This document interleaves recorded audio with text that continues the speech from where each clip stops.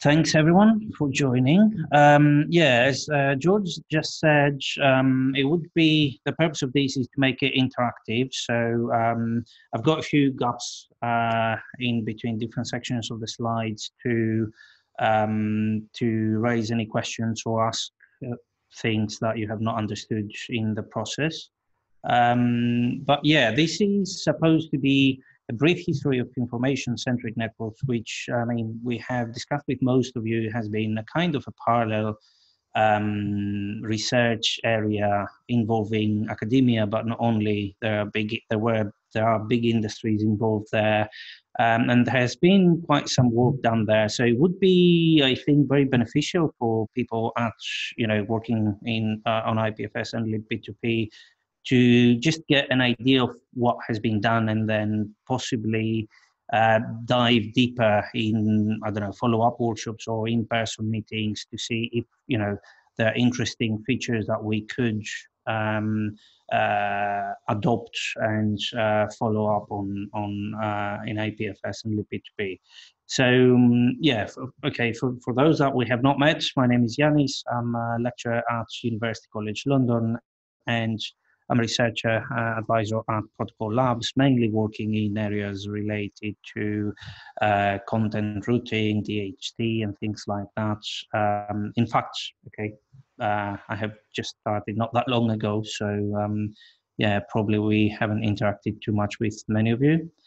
Um, so I have been working at UCL since the beginning of 2010, and um, those last all, all those years, the main point of work basically was information-centric networks, and we have done quite a few works from um, ranging long span from architectural, uh, from the architectural perspective, from caching perspective, from content delivery perspective, mobility, um, pretty much all sorts of things.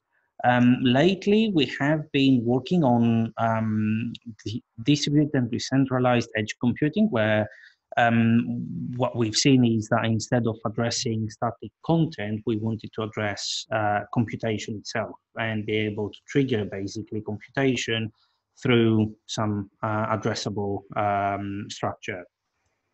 So there is this page there which I have recently put together um, a story together with links to papers. Um, it might be an interesting read if you want to see what um, we think around here for the future of the network. So, um, in terms of the ICN uh, of um, the ICN community, one place where someone could find interesting information is the IRTF group. So, um, the IRTF stands for Internet Research Task Force, which is the research branch of the Internet en Engineering Task Force, the IETF, where uh, most of the standards for uh, internet protocols are being developed. Um, so the IRTF is looking a little bit into more um, futuristic things, maybe, or you know, uh, things that do not have space in the standards community yet, or you know, that, that's what the um, the chairs of each group are a thing. So there, there are quite a few uh, interesting informational drafts there. Um, so uh, it's an important thing. It doesn't cover research, like pure research things. So it doesn't cover papers and things like that. Uh, but there are quite a few interesting internet drafts and informational RFCs that someone could get um, a good idea of where you know where where the thinking uh, behind it is heading. Uh, so the IRTF, I mean, the ICNRG group is meeting with, together with every, you know, IETF, which is taking place three times a year. And sometimes there are interim meetings um, in between those meetings, uh, in between the main IETF meetings. Um, there is interesting discussion generally over the years. Um, the area also has uh, a conference which is um, uh, sponsored by ACM, uh, it's been, I don't know, it's been happening since 2011 or something. It started as a workshop together with uh, ACM SIGCOMM, but then it became a conference. Uh, this year, year is taking place in Hong Kong in September. Um, there are going to be quite a few interesting papers there, so it might be something to keep an eye on. Um, those that can attend can attend, but those that not, there, there are going to be some interesting papers um, out soon. Um, so uh, what's the next slide? So, so okay, so that's roughly the, um, the outline of what I would like to talk about. There are three parts. So I'm going to give a quick introduction to information-centric networks where, you know, the, the, a little bit more technical bits than what I have just said. Um, then there is the part two where I have selected three representative projects um, that have specific features which I think could be useful for IPFS and libp2p. I'm going to talk about each one of them for about 15 minutes and then we can have some discussion, you know, questions and answers. But yeah, feel free to interrupt, it doesn't matter, but it's just roughly what it's going to look like. And then there's a final part where I have some of my own thoughts and kind of design proposals for um, for what I think so far, having looked a little bit deeper into IPFS and libp2p. Um, so it's it's actually worth mentioning that terminology might be all over the place. So you might be, we might be saying the same thing in two different ways or using two different words. So uh, just feel free to, to interrupt basically and um, yeah, ask what is that or, you know, if it's termed differently in your dictionary uh, to avoid further um, confusion. So yeah, um, so what the motivation for ICN has been, hello? Um, the motivation for ICN has been pretty much the same as it is with as it has been with IPFS from the beginning. That the network is basically content agnostic and the content is location dependent. So this makes makes it a little bit stiff and difficult to you know think of the network as a native content distribution network. So people have you know have come up with you know uh, observations and measurement studies to show that most of what of the applications that we use today need a native very efficient content distribution network but what we have instead is point-to-point connections. And this in the long term is not going to be um, very supportive of all the things that we want to do with the internet. So by naming um, individual content objects what is happening is that we can have more security. Um, in some cases, there's better support for mobility. And there's also native support for multicast, or if not native, it can be achieved much easier.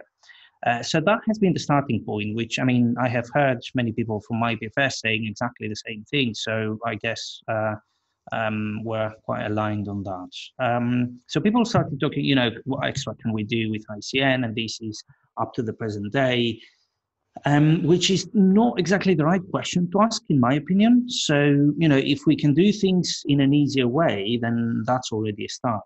You know, uh, we can always do things, but if performance and the way we do it is suboptimal, then um, things will eventually become prohibitive.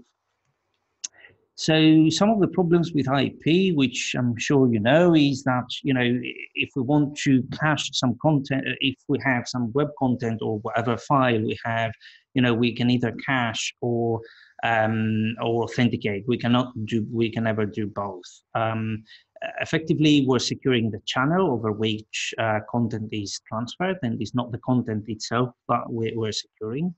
Um, and effectively, users are asking for what while the network is replying who has got this what, which is, I mean, it's a, it's a misunderstanding, is a kind of mismatch. Um, uh, an example I, I, I'm giving some I used to give actually back in the day was the warehouse versus high street retailer example where um, if we think of content as a material good, what is happening today is that um, we always have to go to some back end warehouse outside some big city in order to get what we want. Um, and what we should actually try to achieve is that, say, you know, popular things that many people want should be closer, and we don't have, we should not travel that far, you know, to get a bottle of milk to go to shopping mall, massive shopping mall outside the city. So in order to do that, we need to know what exactly we're looking for. So that's why we need name data.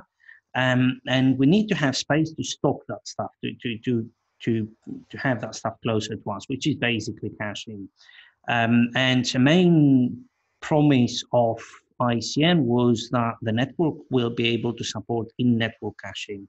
Now, for which reasons, that's a bigger discussion, but there, has always been the assumption that there is going to be support for in-network caching.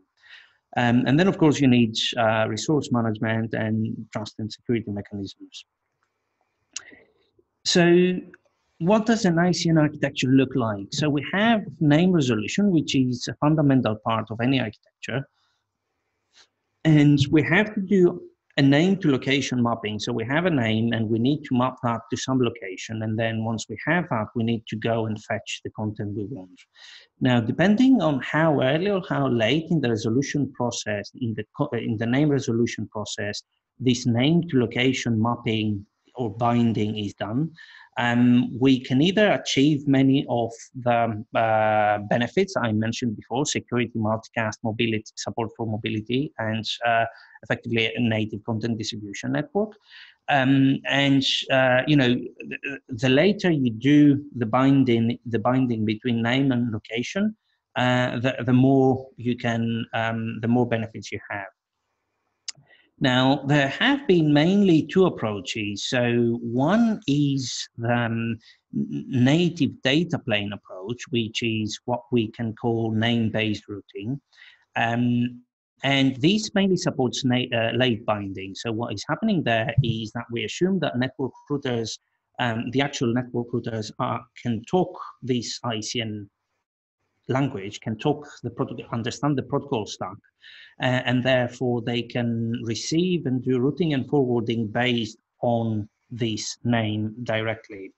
Uh, so there has been one instantiation that mainly supports that, which is the name data networking project. And I'm going to give more details later. But um, the important point for here to uh, remember is that we have network routers that speak the language and therefore they receive a request and they can forward it um, natively. So you have a kind of hop to hop, hop by hop resolution. Um, and then we have the name resolution based or lookup by name approaches, which um, there have been several projects there um, where this is kind of early binding. So at the beginning of the name resolution process, the end client is asking some external entity, where can I find this content? Receives some location back in terms of IP address or similar, or a peer ID or whatever, and then goes and fetches the content. Um, now, depending on how efficient this can be done, you can achieve most of the benefits, but if you neglect and you just do this, you know, uh, early binding and then basically source routing, you're, you're missing many of the benefits. Now, there have been many projects there, um, mostly running in the European, like funded by the European Commission, um, uh, which start from um, projects like, let me see, oh, look what I found recently. Let me see. Uh, laser pointer, wow. um, so, so there have been many projects starting from uh, 2000, 2009, 2010, and going up to this last ICN 2020 project is uh, one of the projects that we had uh, with UCL and many other uh, partners in Europe and Japan, which finished actually last month. Um, and of course, again, we've got IPFS, uh, which is still ongoing, and not many of those projects are still ongoing uh, for good or bad reasons.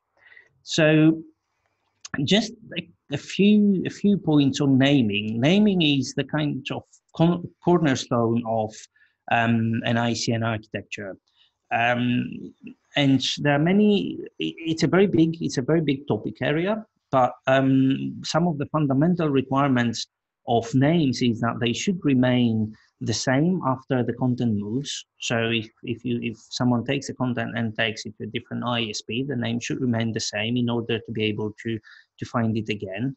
And it should they should allow for content caching. So that's something very important which you can't really have with you know IP networking because you know uh, all the cache or the network is seeing is an IP address and you don't know what the content behind it is. Whereas if you have a named content chunk or content object, this means that you can identify because you request this by name and therefore you can retrieve it from anywhere in the network. Um, now, okay, so naming itself is not really a problem, but if we want to have, you know, and naming should not be topology dependent. That's the location independence principle that um, ICN is building on top. Um, the problem is that root, routing is topology dependent. So in ICN, if you want to have addressing through naming, then this is this is something very important to get right. And in ICN, basically naming determines routing. Now, um, to go a little bit further back, um, there is this famous quote by Yakov uh, Rekhter, which sometimes is called the Rekhter rule, um, uh, which says that addressing can follow topology or topology can fo- follow addressing. You have to choose one, um, w- which makes perfect sense if you think about it. I mean, th- this is the main person that designed the BGP protocol. So um, uh, it's probably right what he's suggesting to do. so in IP routing, what we have is um, what's that? Yes. Okay. Uh, someone raised a hand. Yeah. Yeah. Yeah. Um, hello. Yeah. Tell me. Hi. Uh, Hello. Just a question about um, like what when people say naming and in this context, like what what do they mean? Is a name is a name an address is it uh, something that is you know mutable versus immutable? Is it something that's human readable versus machine readable? Like what is meant by name? Right. Um, so so good point. Um, pretty much uh, all of the things that you said. So there are some approaches that say that initially started as saying you know um, naming should be human readable uh, but then these, of course, everyone realized that it doesn't need to be like that. Uh, it doesn't need to be um, human readable. The main distinction, the main two properties. So the main distinction distinctions over the years was whether a name is flat or there is some hierarchical structure into the name. So if you have a hierarchical structure, just like we have in a URL, then this can help a lot with aggregation in network routers as you do routing and forwarding. So this is something that is a kind of a positive um, um, feature of hierarchical routing. Now, what is in the hierarchy doesn't necessarily need to be human readable. It can be anything basically. And that's where we come to the flat uh, namespaces where, you know, many have proposed actually, you know, uh, hash-based uh, addressing uh, where you know it's more difficult for routers to understand what to do with a piece of content but there needs to be you know if you have a, a name resolution system then you know um, you can route and forward accordingly. The main property that all of those need to have is that the name should be unique right um, I don't know if this answers the whole question. So there are there are some examples later on of what each architecture of those that I'm going to talk about have used. Um, but yeah, is this answering the question, or should I? Maybe. Well, maybe we can get we can go to it uh, later when we see some of the examples. But because you say unique, but it's like unique with respect to to what? To uh, yeah to, to every other name in the internet just like you know you have a hash based on the content of uh, of an object and you want that because you want to identify this specific object by this name right? Which applies whether it's to mutable or immutable data because the mutable data will change right? And so the the name is like not necessarily unique to the data. It's unique to like a flavor of the data Right. So, so let's assume, I mean, for the most part, it has been assumed that content stays um, stays static, at least the basic design. Of course, content itself might change. You know, the content of an object might change, and then there is a discussion over whether you know um, if it's a hash based thing, then that's fine because the hash is changing. But if it's not, and it's a name that is given by someone, then maybe it should be followed by, you know, version two of the name or something similar.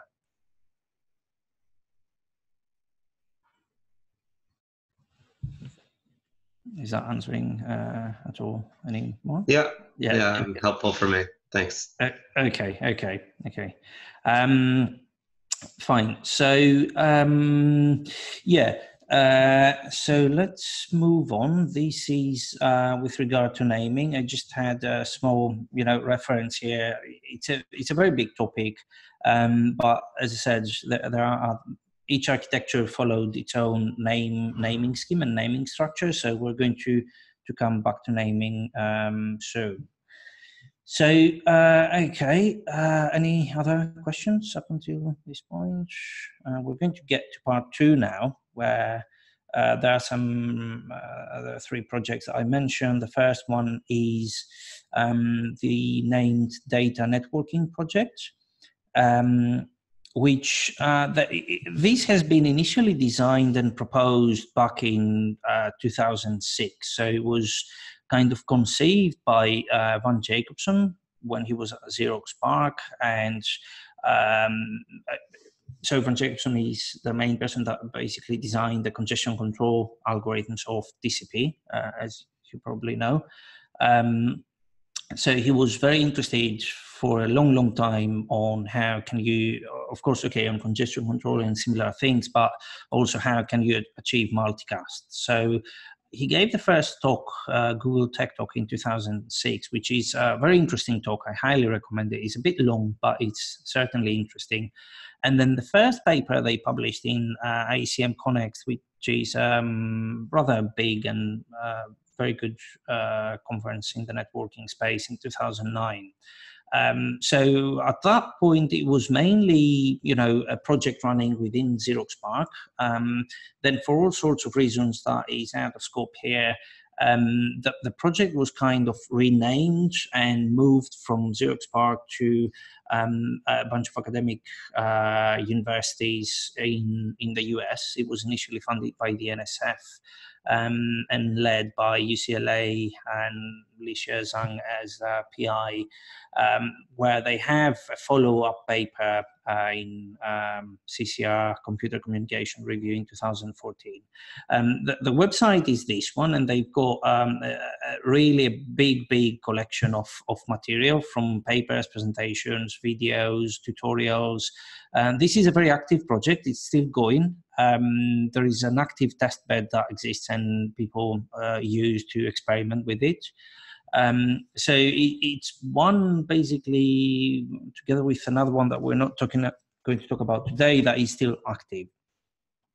So what was proposed there was that um, the thin waist of the, of the protocol stack, instead of being an IP packet, it should become a content chunk. So I'm pretty sure you're very familiar with that because um, IPFS and libp2p try to do pretty much the same thing. Um, uh, now, where the IP goes is that it, it is kind of pushed down. Um, it's obviously not going to disappear. Um, initially, was proposed as a clean slate network architecture where um, you know the IP protocol is going to be replaced or whatever. But of course, that was not the intention. Is that uh, the same way as we don't necessarily use MAC addresses in order to route things over wide area networks. The same with IP would become a lower layer protocol, and on top of it, there would be named uh, named content chunks. So there, in this design, there are two mainly um, packet types. There is the interest packet and the data packet, um, where both of them, one basic component is the content name. So names, we're going to see in the next slide, but in, in this case, they're hierarchical and would look something like that if someone wanted to reach uh, my web page.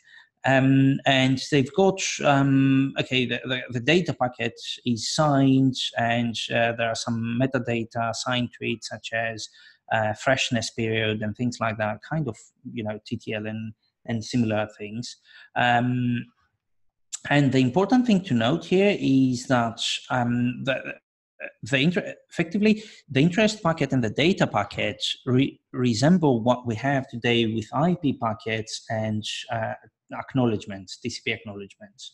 So uh, it's worth thinking a little bit about it that you know we have an interest packet which is about 30 bytes long or something very small anyway and it's asking there is it's a request and interest for some data that is going to be sent back.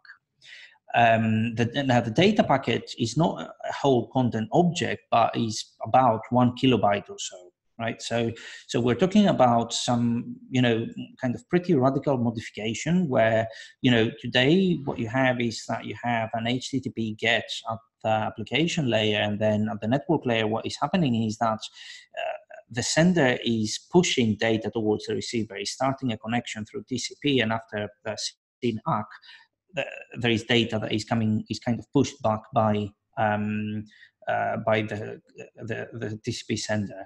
Now here we have um, a kind of and then and then upon receiving you know the data packets, the receiver is sending back acknowledgements to say that they received that. Now.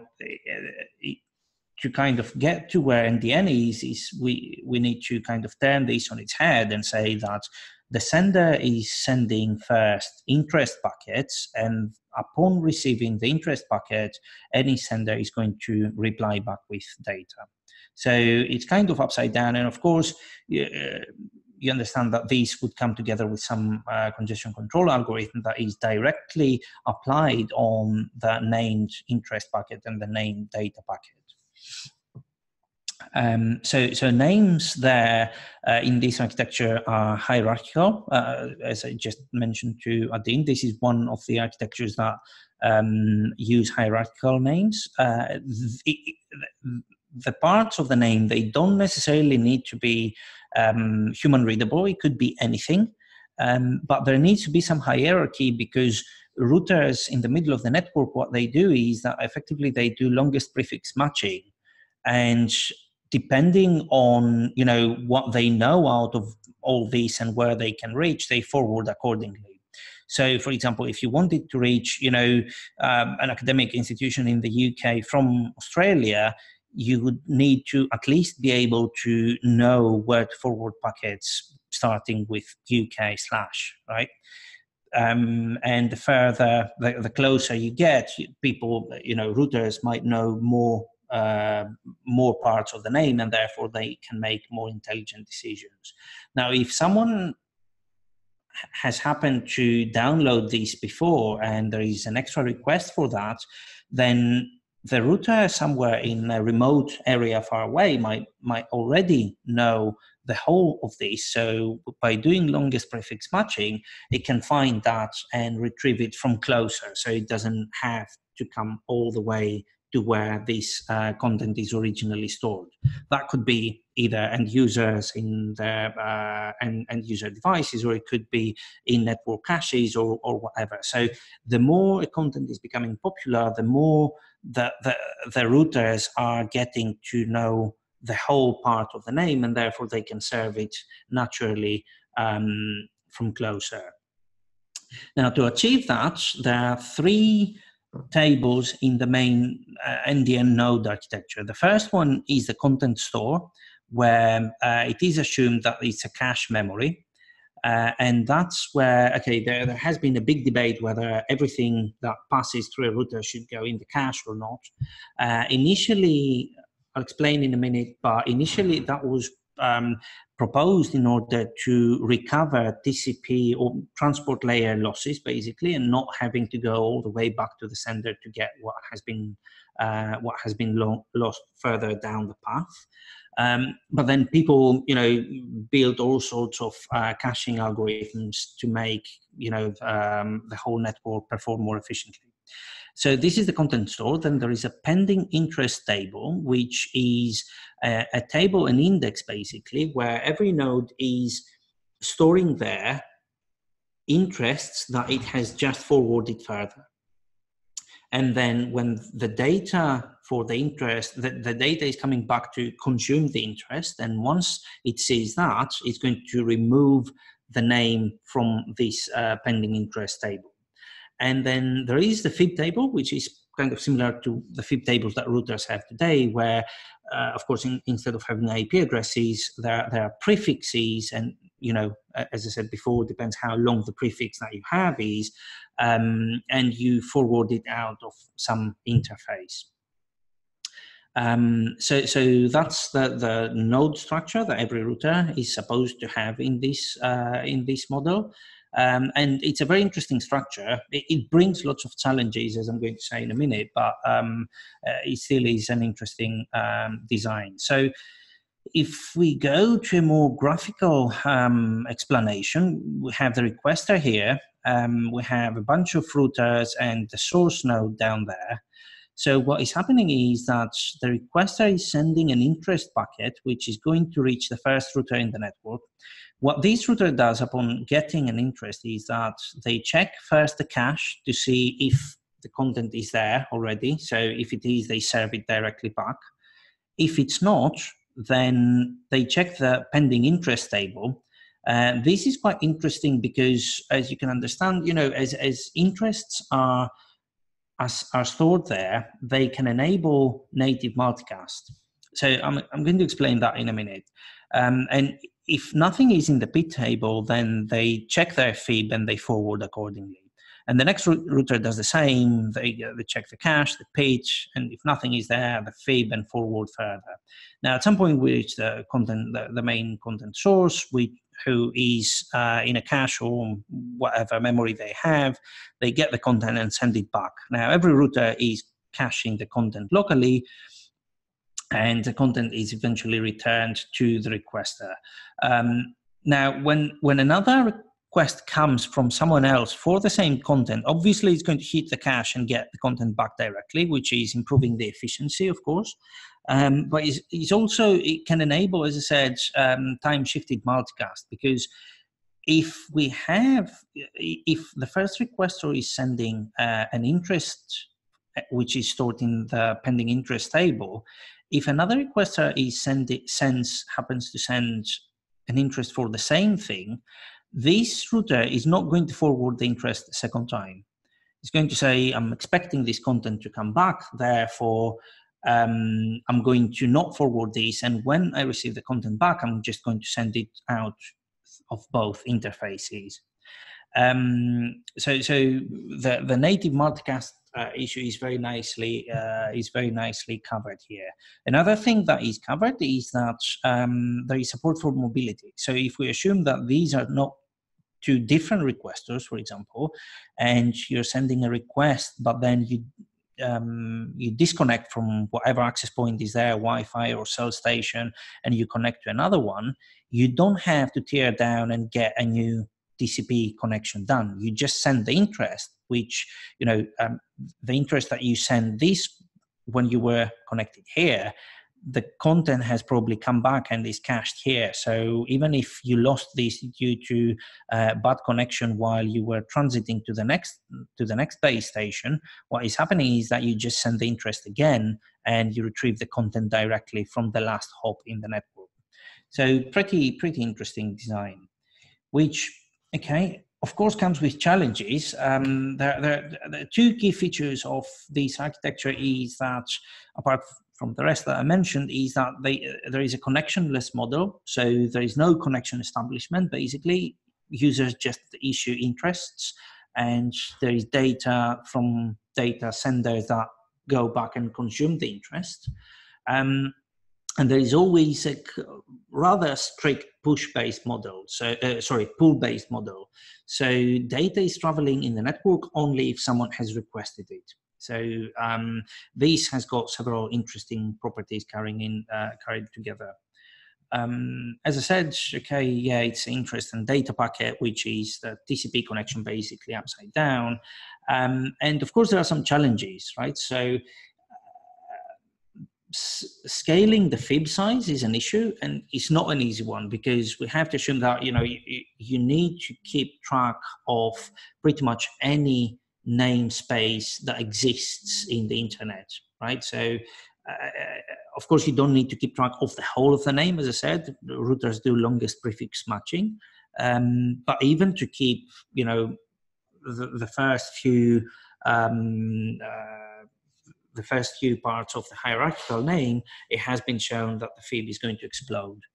Um, and, the, and then there are patent cache poisoning attacks. So they, this is not a solved problem um, and uh, one that can, um, I mean, can be a showstopper I don't know if it's the right word to say, but it's a problem that is looking for a solution basically because someone can um, issue interests for contents that uh, do not exist, for content that does not exist, using random names. And this goes and fills up the pending interest table of uh, the router as effectively uh, launching a denial of service attack because you know nothing else can be stored in there.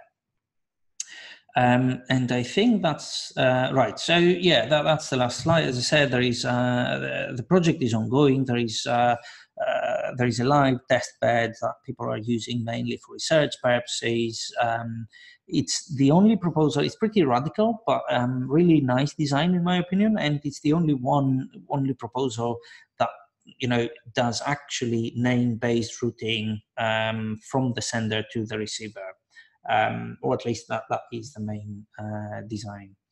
Um, yeah, and with this, I would like to take a quick pause here and see, you know, if there are any interesting features that you think should be considered further in uh, in the context of this project or uh, more generally or whatever.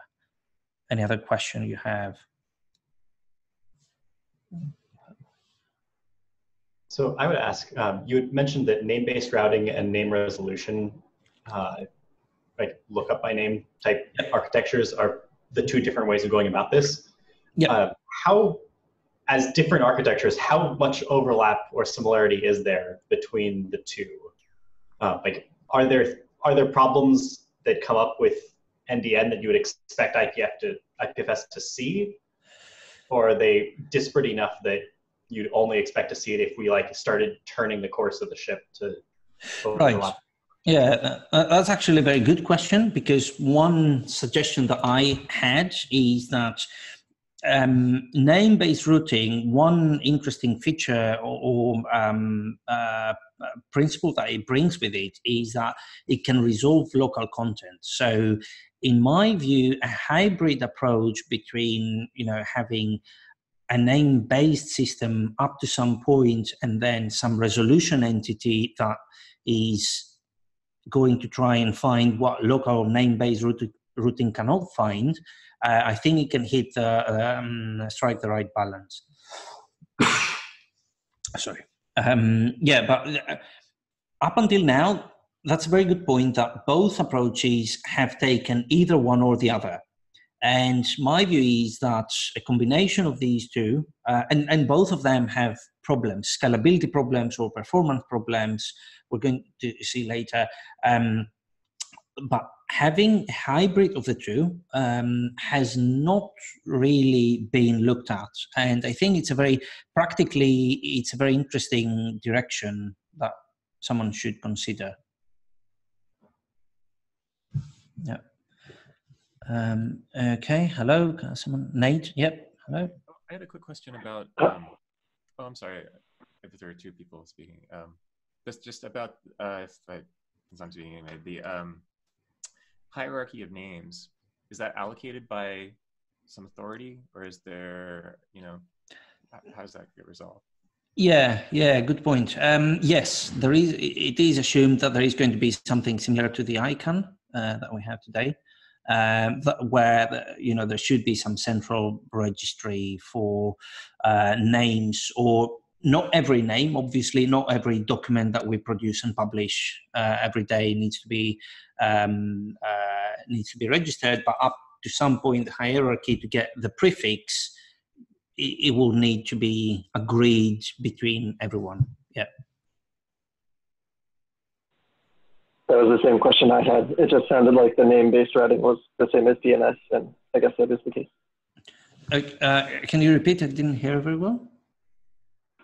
Oh, sorry. I had the same question okay. um, just about how exactly the, the name-based routing, you know, how they knew where to, you know, where the next server was supposed to be. And it sounds like it's very similar to D- how DNS works. Right. So, so, um, so, so there are a few issues here. You don't necessarily need to know where exactly the server is, but there needs to be some bootstrapping, some bootstrapping in the network, right? So, um, because initially, so in day one how how do you get actually the first entries in the fib table.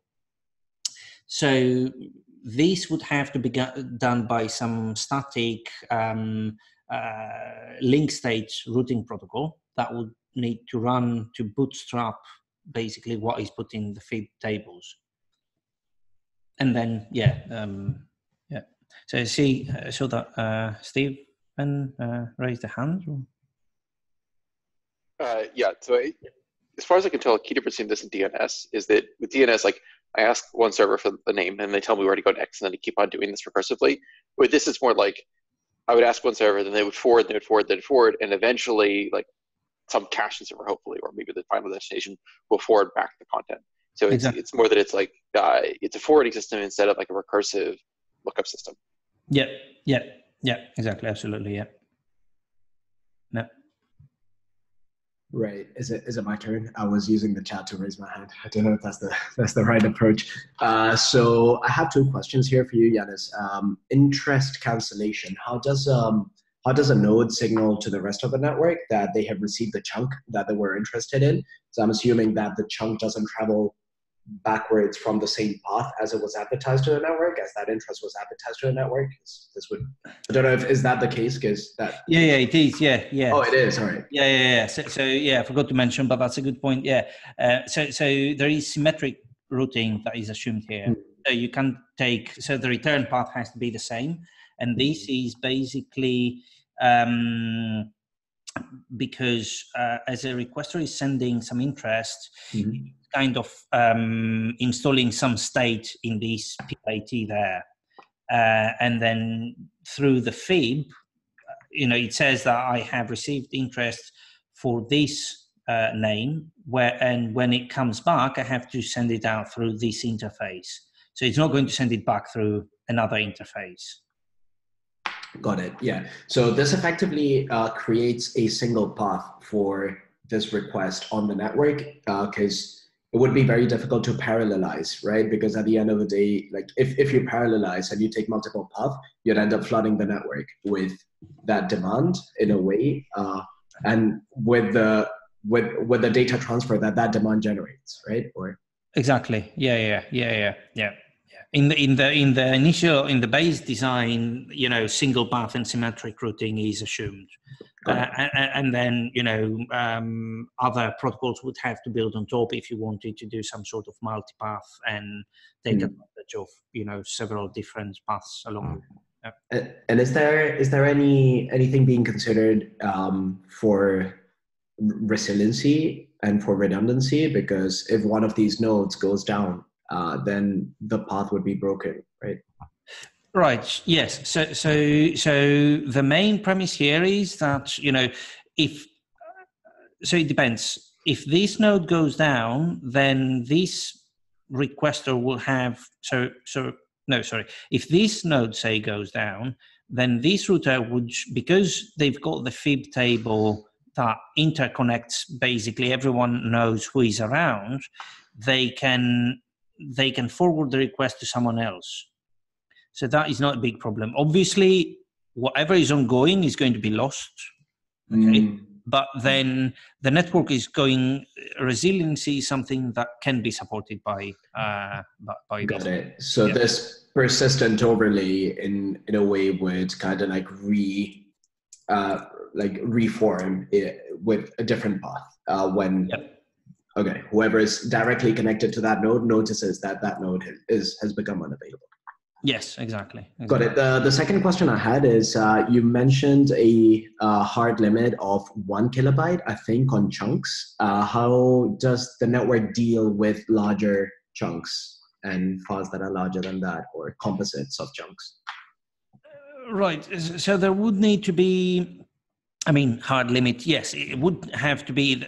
There hasn't been any hard limit. And I think what they're currently using is about four kilobytes or something um, is this is this i mean has not been i don't think it has been agreed or standardized at this point uh, everything that is larger would have to go through fragmentation basically as it happens today as well with jumbo frames and things like that mm, got it so at the end of the day it would be kind of like the file itself or the chunk that makes sense to the user uh, to fetch in a single unit the one that's addressable. You wouldn't make the inner blocks of that larger blob addressable in themselves, right? Sorry, I didn't get that. So imagine you have a one megabyte file. Uh, it would be the one megabyte file that has an address. Uh, it wouldn't like it's not. There's no chunk. There's no addressing of the inner chunks that that one megabyte ah. would be composed of. Yeah, uh, yeah the fragments, as you call them earlier. Yeah, yeah. The, the, there is going to be an individual name for each individual chunk. Um, so, so the long name could be, so say this one is not an HTML file, but is a huge PDF file. The huge PDF file of one megabyte is going to split in chunks of one kilobyte or four or five or whatever. And okay, there should be some naming convention that would say this would be x.pdf chunk one, chunk two, and there would be some sequence number there where you know we're talking about chunk number one, similar to the sequence number in in TCP packets. Got it. Thanks. Yeah. No. Okay. Um, so if yeah, if we don't have any other questions, I think we can move. Yes, so the name-based um, uh, routing approach or uh, a small part of that together with some other hybrid is something I think that could be quite interesting um, for to consider in IPFS. Um, so the second part now, the, the second project um, is uh, a project. Actually, it's a paper called DONA Data Oriented Network Architecture.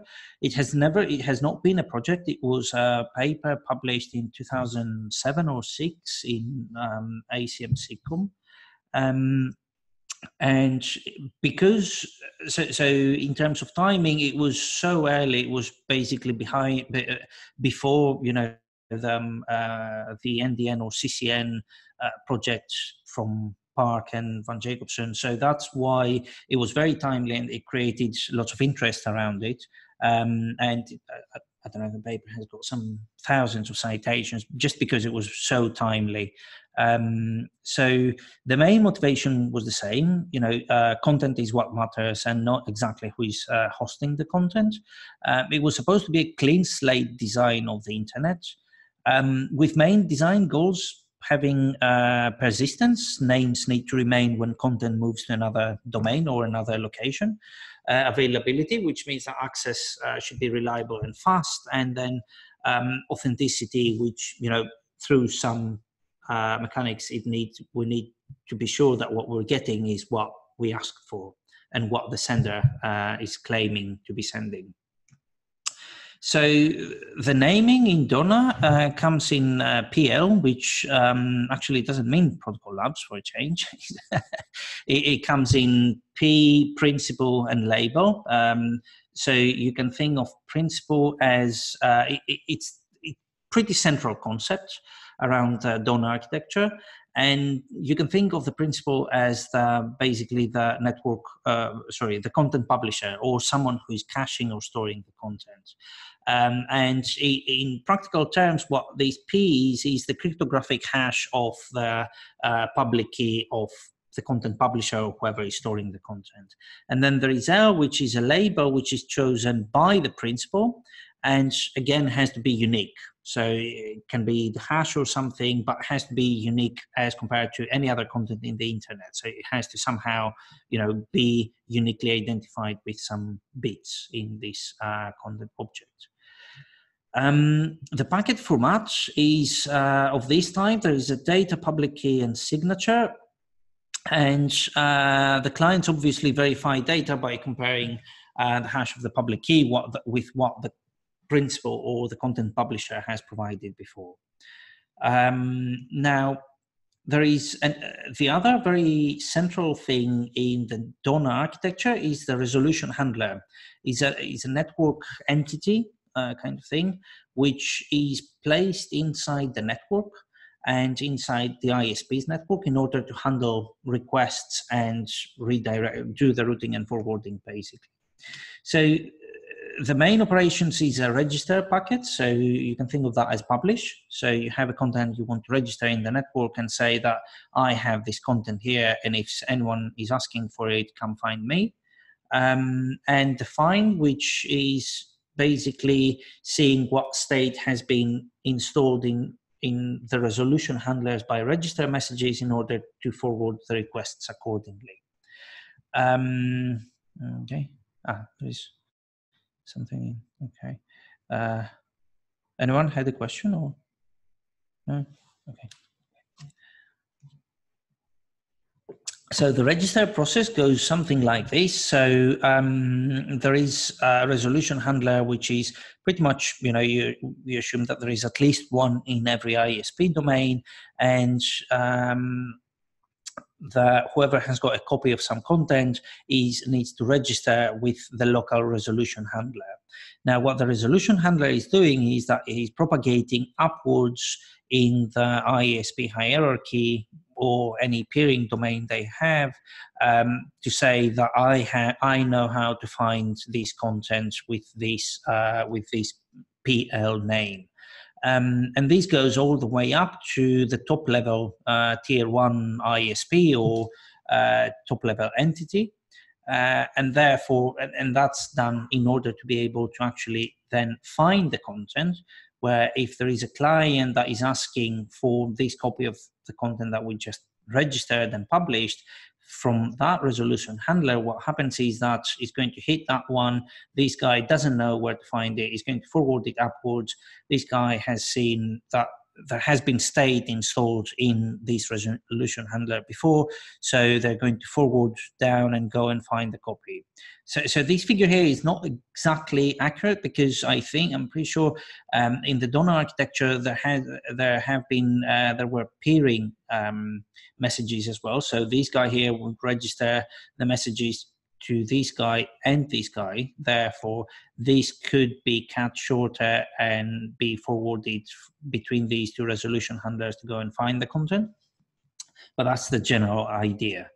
Um, so um, there is okay there, there is some optimization we did in one project we had which was called curling um, so in a more uh, it's basically an optimization in several terms in in the state kept in in routers um, but what is happening there is that effectively you have requesters that are sending a find message and then uh, the resolution handler is going to route towards where if it doesn't know if, if there is nothing in the cache, then um, they're going to forward it upwards in the hierarchy until uh, it finds a top level domain where it, it, needs to go further down again and find the content. Um, so yeah, th this is a new entity, uh, a new entity there, the resolution handler. Uh, it's an interesting architecture. Obviously, as you can uh, understand, stress in terms state that needs to be kept top level domain and uh, oh, you still okay a message that stable that's why i'm asking. I think your connection stuttered for, for a um, little so, so we did okay okay now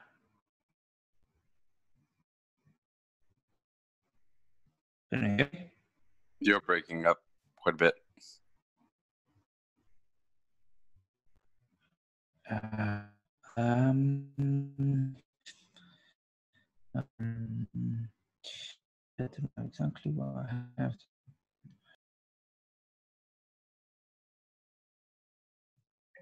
Oh, okay. So we just lost Yiannis, hopefully for a second. Yes, okay. So he's back.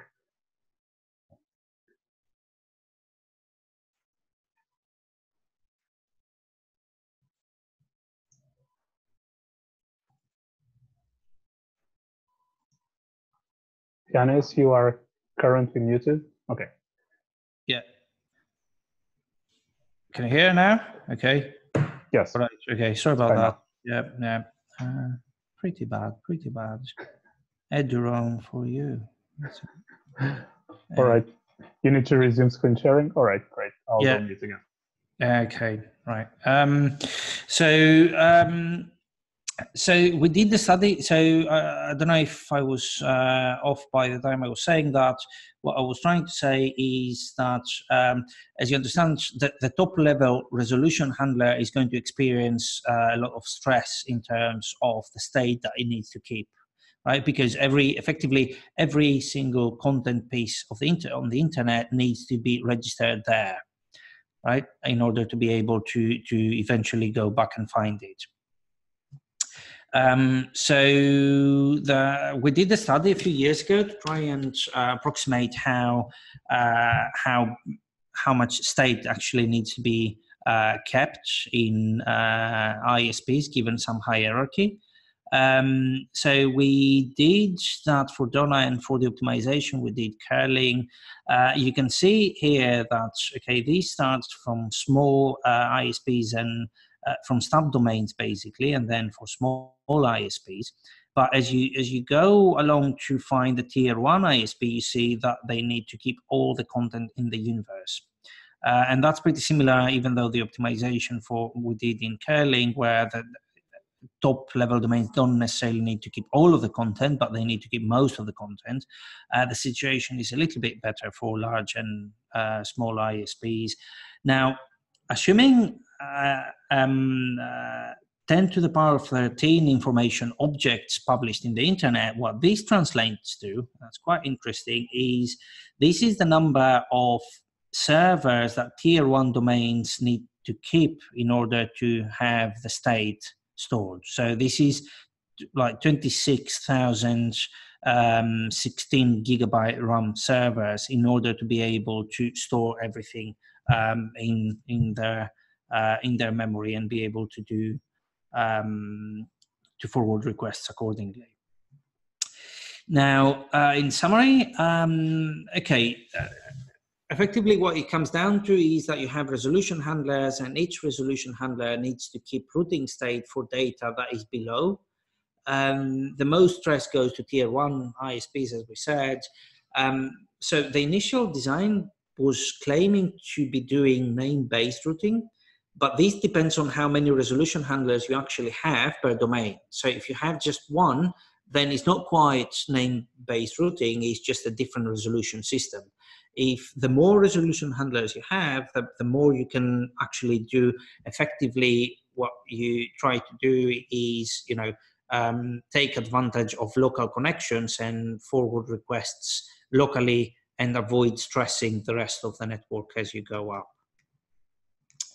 Um, yeah. Uh, so yeah, that, that concludes the, the, the second part. And um, yeah, any questions or interesting features for me, for example, something that could would be interesting to have as a network, and in this particular case, the IPFS network grows, is to see if there is um, if we could have a notion of hierarchical, you know, domain or a uh, autonomous system structure. Um, this, of course, doesn't need to be, you know, uh, related to the ISP itself, as is in the DONA architecture. Um, but having some sort of structure is going to help with scalability, but both with performance when you know the content is basically uh, resolved and sent back from the center to the receiver. Um, any other ideas or questions, or ha- ha- has this been discussed before? The the structure in terms of uh, uh, um, some sort of uh, domain-like thing. No, no, I'm hearing no. So some, that's something to consider then. Yeah, I've I've had thoughts along this line in terms of like how to say organize collaborative pinning so like friends that pin their other friends' content, and then ah. if, if you if you somehow knew that that content was available from your friends, you could just go straight there as opposed to just going to the DHT. Sure. Yeah. Yeah. Yeah. But that that that uh, doesn't take into account uh, any topological structure, does it? So if you're in Canada and I'm here, but we're friends, I'm still going to come straight to you and get it, right? Um, yeah, I mean, you could have like friends that are ge- geographically located together. Right. Yeah. Yeah. So I, I don't know. Yeah. Yeah. I think some topological embedding of uh, some structure uh, um, with some name-based routing would, I mean, uh, it would resolve local content locally, um, which would improve performance quite a bit. Um, yeah, yeah. Hello, hi, Stephen. Ah, right, Adin, or I don't know, whoever. Yeah, go on. Uh, can you show? are there any like? So, what do the names look like in this system again, in order to encompass both like the the signature identifier, but also the hierarchy? Right. So the hierarchy here does not come in terms of names. So this is how the names look like. It's just uh, uh, the, a PL structure where the principal is basically the cryptographic hash of the public key of the person that is storing the content or publishing the content. Um, and L is something that again has to be unique. So I would have thought it could be the hash of the content basically, which is unique to this specific uh, content object. Um, yeah. So there is no hierarchy here. It's more of a flat kind of uh, structure in the name. Uh, in terms of hierarchical structures, that would actually be, I think, really interesting for IPFS. One concern there is like you generally, whenever you have a hierarchical structure, you kind of implicitly have um, uh, authorities, uh, which is something we tend to shy away from. The nice thing about IPNS is like, like there's no authority. You just like have your key and you have your your namespace. Can, uh, can, you repeat because it, it was it was cut in? Uh, I didn't I didn't the whole of it. Sorry. So in the beginning you said hierarchy. Yeah. So in IPFS, we currently don't have hierarchies primarily because that requires a namespace or a name authority, um, as far as I know. Uh, we probably wouldn't want it to be uh, location based, uh, simply because then like one of the key goals is to be able to like move and still have your content resolved. Uh, but you can still do hierarchical namespaces without making it necessarily map to geography uh, by just like updating I guess, the next layer up and saying, "Hey, I moved over here," um, and then mm. yeah, but yeah, yeah. sense? Yeah, yeah. So, so, it makes sense. Uh, so, so I agree that uh, putting the hierarchy in the namespace can be. Um, I mean, it can be useful, and that's something that could be considered. It can be dangerous because. So the problem there is that the, the naming structure and the topology of the network are two different things that are kind of moving and uh, evolving in parallel and they can go into totally different directions and then you end up with some structure that is not following the topology at all which, which is kind of already almost happening with IPv4, but it's going to be even more so with IPv6. So it, it, it's kind of dangerous, and I agree with that. On the other hand, um, you so topological doesn't need to be um, you know um, yeah sorry uh, no sorry i was trying to clear the hand never mind Ah, okay. Uh, so, so topological doesn't need to doesn't need to necessarily mean that if we say that this content is here, it cannot move elsewhere. It does not need, I don't think, to say to be inside the name. If we have an in, you know, if there is an index somewhere that says within this area, metropolitan area, you can find these contents, then this will be much faster when you try to deliver the content basically on the opposite direction, right? Because you know, um, so I think some topological embedding needs to happen, but of course, I totally agree that it should not be restricting in terms of um, the naming and what happens when we later want to move the name, the content to a different. So, uh, the way we deal with this now is like uh, you have well eh, that's, that's why we have content routing like content routing will say like hey in here are the places where you can find the content. Uh, ideally like we'd have additional information here but like uh, content routing could be scoped to like where you are. Uh, and that would i think help solve this because then like you would like automatically find people nearby before you find people further away. Okay. Uh, but in general like the, the problem is like putting this in the name or putting top or like location based stuff in the name itself uh, just like you, you end up with this big problem. Yeah, this, yeah, standard problem Yeah, yeah, no, no, I was I was not meaning put any location thing in the name. So, so um, okay. my so sorry, yeah, probably it was not expressed correctly. Um, but the hierarchy here um, does not. This does didn't mean to say that it, the name has to be location independent, and this thing I was not meaning to put it in the name. So uh, it's just if the network, like uh, through through some uh, gateway or some similar structure like the resolution handler can keep track of what content is local, right, without inserting that in the name structure, could I think resolve content locally and improve performance. It basically comes down to what we said before when Evan asked the hybrid of name based and name resolution based. Yeah. Okay. Um, so Jim, yep. I can hear you. Sorry. Yeah. Um, the, these are all interesting schemes. Um, there seems to be a tension that, that I haven't really heard talk about with uh, privacy. So, like, your uh-huh. the router you're talking to knows everything that you're accessing on the internet. Absolutely. And what what what um, what what does the community have solutions for for that? Right. Yeah. Yeah. That, that's an excellent point, actually. So so the good thing. Um, about that is that the router inside the network if, if you use some name-based routing, the router, a random router in the network doesn't know who, where is this going to because there is no IP address. You're just following back and you're sending based, basically named content. And through the state that is installed in every router, it's going to come back to who, whoever is requesting that. So in that respect, it's better than what it is today. Now the problem is the first hop. So because the first hop can see everything that you're requesting basically, and you've got state installed that is pointing back to you. Uh, so in that respect, there is uh, there is an open issue there. There, there have been some um, there have been some approaches, but I have um, it's been some years. But yeah, yeah, that's a good point. There, but it is in the radar of the community, and there have been a few uh, a few approaches to, to to solve that. Yep. Hello, Adin. Yeah.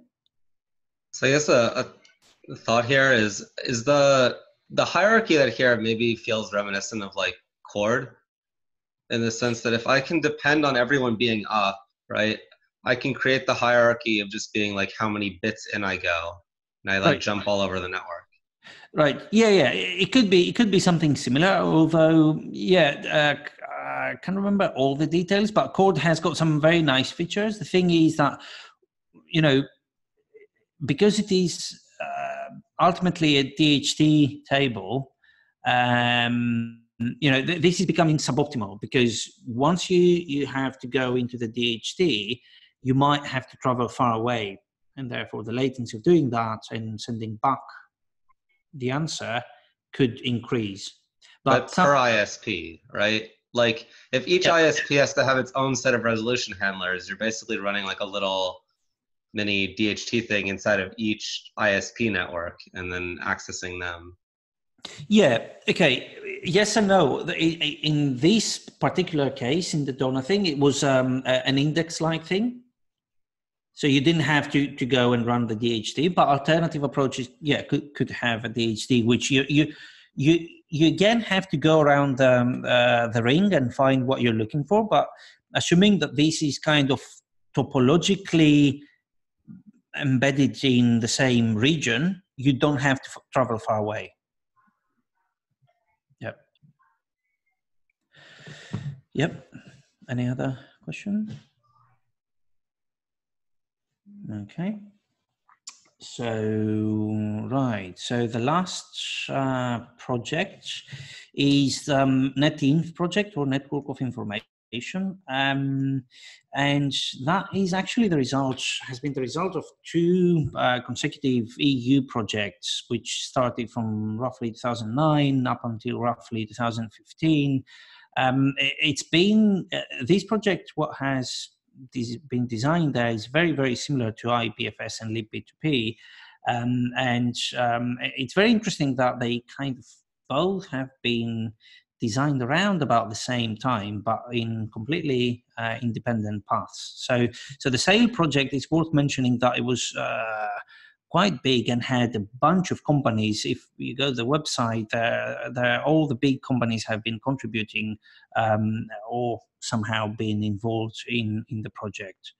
Um, so what is happening in in this architecture is if uh, you have a requestor and uh, there is a name resolution system that is using, so this is the name resolution based uh, uh, architecture where on the first step you resolve your the, the name that you're asking for to the name resolution service and then this gives you back the locators and you go and get the data that um, that you ask for. Uh, there's supposed to be caches there so if something is cached because you're getting you're, you're asking for something based on the specific name of the content then you can take it from mid path the network um, or it could be that some parts of the content you're looking for is in this node and some other parts are uh, down here in the other node. So you're going to split the requests and try to get data from uh, from many uh, different um, uh, nodes. Now, the NRS system, the main thing that was uh, developed in the um, NetInf project is a DHT system, a multi-level DHT scheme, which um, I think the minimum is three levels, but it could be more. I think they experimented with more, at least uh, theoretically. Um, and if we go a little bit further down into more detail, if we assume that there is a, an object X, which is uh, the host of which is TK, then another node we have this netinf domain or it could be an autonomous domain uh, and the dht associated with the autonomous uh, the autonomous system. And then you have the pop level dhts um, the request is going through some access node. Is, reach, is reaching the dht of this uh, of, of the pop level. And it's going to go further up to the uh, to the higher layer DHT if that pop doesn't, if that DHT doesn't see where the actual content is is stored locally, and then it's going to go down and go and find. I mean, it's pretty similar to uh, what uh, IPFS is doing, but at at at, at the multi level, and then the content, of course, is going to follow the fastest way back um, it's, it's worth mentioning that these access node, they're, uh, access nodes, they're not doing something. They're not actually um, keeping any record of what has been stored. So I suspect that if there is a user here and asks for exactly the same object X, then you know unless some node there has a cache, the same thing has to happen again. So you know what I'm saying is that if there is a node somewhere here that does some keeps an index of, of things that have been forwarded recently towards other users and other hosts, then this will ev- eventually, you know, forward the request and, and the content um, in, in local nodes. So the naming scheme, I guess it, it, looks quite similar to what you have seen before.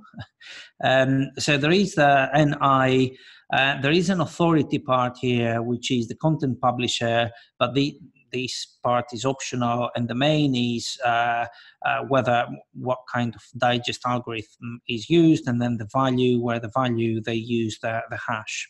So effectively, is very similar to um, to, to, what is being used in IPFS, or at least the, the, um, the initial uh, CID of version zero or whatever it was uh, before.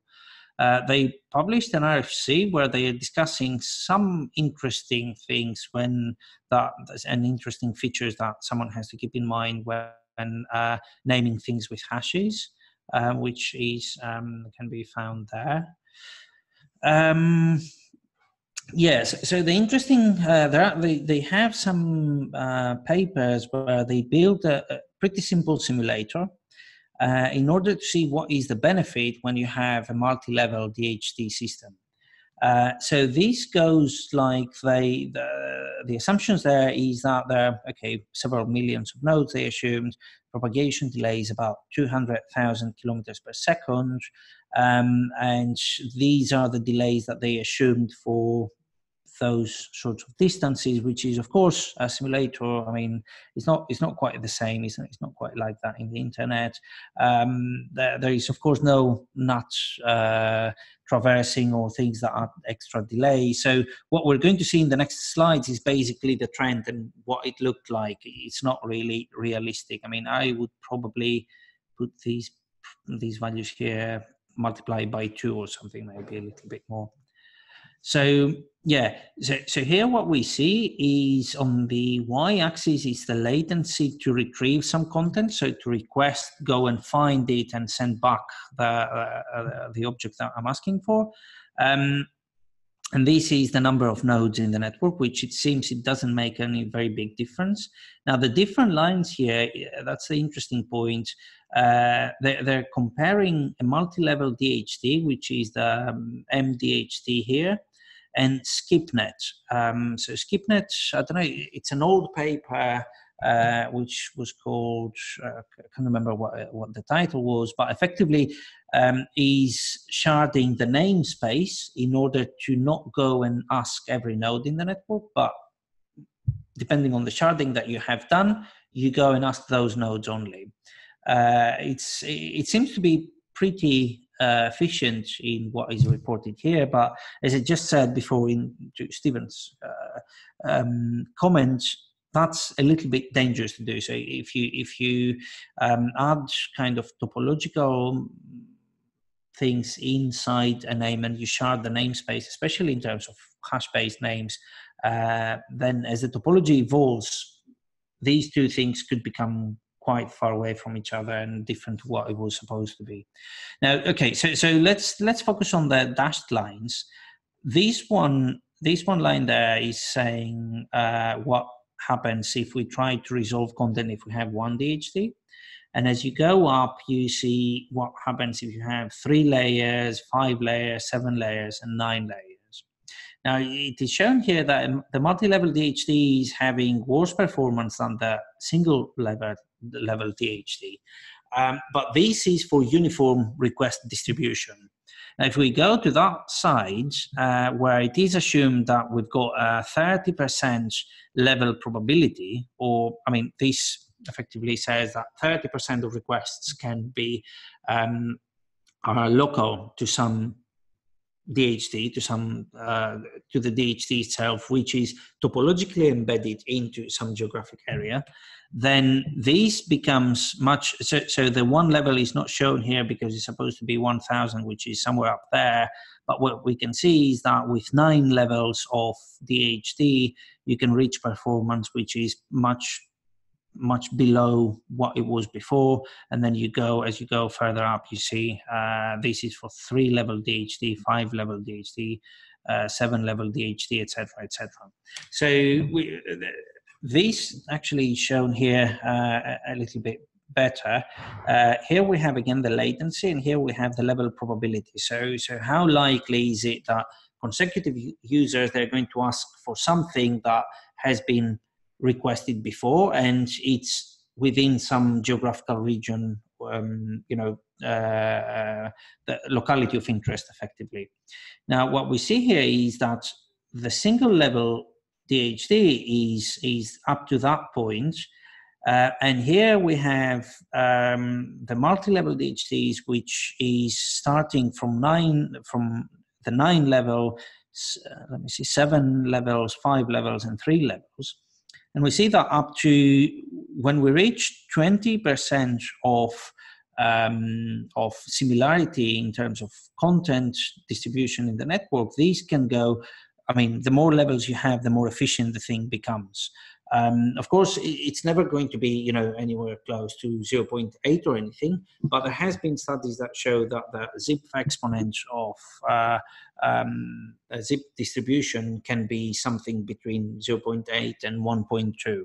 Um, so, okay, so a value around this area, I would say that is reasonable to assume. And therefore, this shows that the locality of interest can bring massive benefits if we design the system as such that is taking these things into account.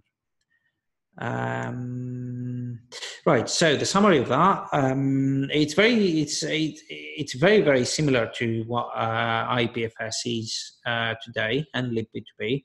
Uh, the difference is that having one DHT is becoming, you know, it, it's suboptimal in terms of where you have to go in order to resolve content, and you, you know, there is no notion effectively of having, you know, resolving getting content closer if someone else near you have it. You know, okay, that, that's not exactly what's happening in IPFS, and I know that there are caching nodes and things like that. Um, but effectively, you know, a more hierarchical structure or multi-level structure can bring uh, more benefits. Um, so yeah, uh, a quick pause here before yeah. Uh, the interesting feature in my view is the um, the different levels of the DHT that have been supported there. Any other thoughts or previous discussions on whether anything like that makes sense, either in terms of topological embedding or in terms of topic level or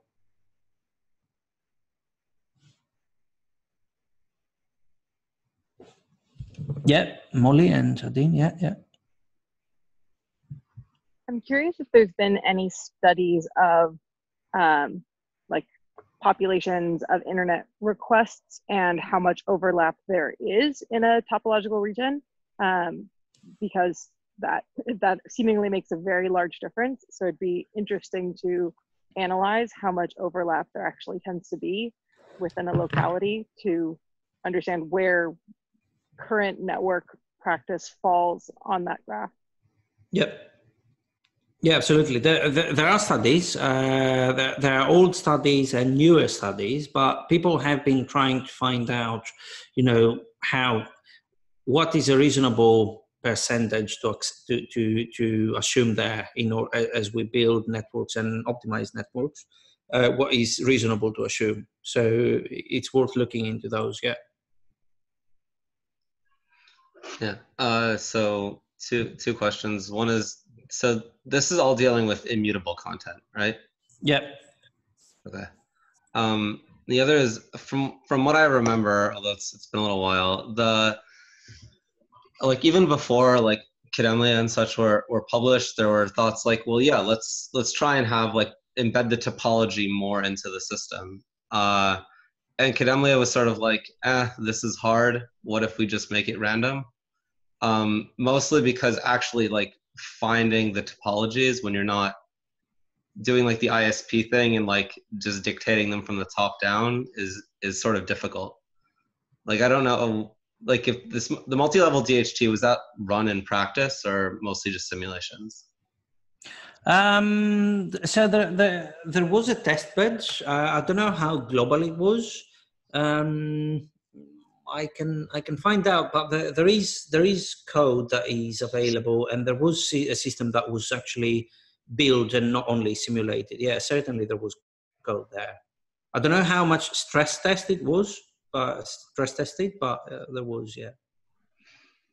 Yeah, because when you start dealing with like people who have like like weird like as, yeah sort of asymmetric connections and and NATs and all of that, like the figuring out like where actually everyone is to help build the optimal topologies can become difficult. Yeah. Yeah. Um, keeping a note to have a look at their code and what they produced. Uh, okay. Yeah, I've seen some other. Uh, so I think Stephen or Raul or both. Uh, for context on the P2P, uh, the libp2p DHT was supposed to originally have a uh, multi-level DHT using uh, Coral, which just guesses the levels based on latency. Uh, so like multi-peers would all work together and sort of like collaboratively figure out they happen to be in some low latency group, and then that, mm-hmm. that's how the labs are formed. Uh, this was just never implemented. Okay, okay. So there is plan to get these. I mean, for this to be the main part at some point, or eventually, yes. Okay, okay, okay. Yeah, yeah.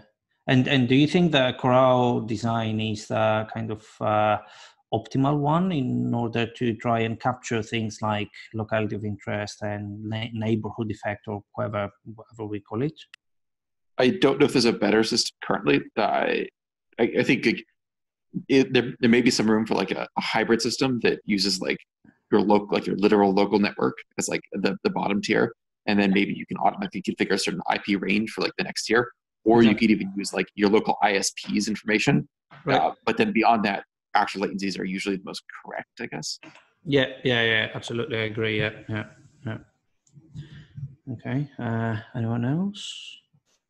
Yeah. So I had a I had a question. Have there been so I think most of this would be applied or would be deployed at the ISP level, right? So there would be kind of like some prearranged uh, deals or relationships with a, um, an implicit trust, you know, relationship between parties and so on. Yep. Have there have there been any any any research into how these concepts could be extrapolated to to peer to peer networks where that are inherently trustless and need to model for Byzantine, you know, uh, faults and so on? Yeah, no, no project. I think it's called IPFS and libp2p, and yeah, right. So, so maybe uh, maybe I forgot to mention in the beginning that all these, first of all, they uh, they were proposed as um, kind of not replacements, but the next level of what the internet protocol stack should look like. So it, they were supposed to be able to address and deliver the whole of the content in the whole of the internet and you know like for everything just like ip does today. So um, it was quite risky project and you know um, not blue sky but you know towards you know let's do something quite radical. Um, so that that's one thing. And the second is that yes there was in all of them there is the involvement of the isp to uh, some extent um, but for example, the resolution handler uh, was supposed to be one in every ISP. I don't know if it would need to have the agreement, but I guess from a business model perspective, someone would have to get this machine and go and put it there, connect it to everyone, you know. So who would kind of foot the bill for that? Therefore, the ISP is the most, you know, straightforward thing to approach and go and put it there. Um, so yeah, yeah. So I have seen there is some discussion. If we want to take this trust out of the ISP or the ISP out of the picture as to how we build a system, a peer-to-peer system, where this is not involved or we do not blindly trust the ISP or whoever is the infrastructure provider, then of course what comes in is, in my opinion, the incentives. And I have been, I have seen some discussions on, on GitHub that you know incentives should not only be around for storage and you know for, for that kind of thing but even for routing providing routing information and routing hints. The if you remove trust someone has to replace that. So how do you do that? Yeah yeah. I agree yeah. Um yeah uh okay and then ah right. So i i put some resources here where some people might, you know, we might want to look at uh, later. Uh, there is a hybrid ICN approach, which is also an active project, and it might be worth looking at. Uh, it's being currently developed at Cisco, so it's not a dead project. It was not done at some point. It's an open source project uh, at Cisco, where what is happening there, what they're doing is that they're assigning, they're addressing content chunks or content item, items with an IPv6 address. So every item gets an IPv6, uh, uh IPv6 address on its own, and that's how they kind of they they also have the interest in data packets, and the sizes are pretty much the same. It's just that the the naming is quite different, and um, it's a really interesting thing worth keep, keeping an eye on. The, the code is open source. Is just this link there. Um, currently, I think it's only Cisco people in Paris that are developing this. Um, and I, actually, we're colleagues. We're, we're working on the same project together. Uh, but I have they have just released a new uh, version of what they're doing. Um, and then in in simulation tools, uh, on top of what Molly uh, suggested about measurements and you know trying to find out measurements, another thing that I think would be interesting is to try and find simulation tools. So um, we have, for example, the Icarus simulator, which is basically a caching simulator. Um, we have released it. I mean, it, has been years and it has uh, uh, got some visibility. Um, the main person that developed that, they then moved, and I know that they have been using the simulator within Fastly.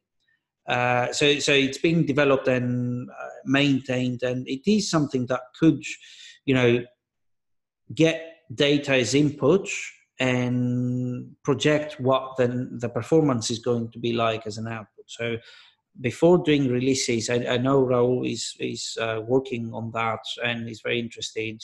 Uh, so, I mean, some of that could be there is the NS3 the Docker emulator for NS3 uh, network simulation version 3. So what we have actually done here is uh, you get a Docker version of some release of Go IPFS, say, and you put it into the NS3 simulator. Then whatever the script or the network topology you want to run, uh, NS3 is, is very big and you know simulator with many many features.